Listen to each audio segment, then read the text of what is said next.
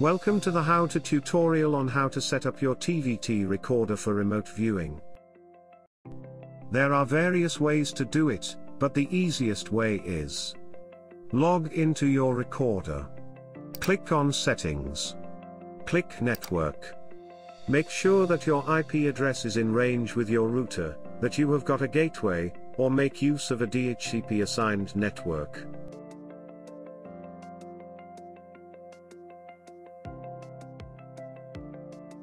Once that is applied, go to the option called NAT.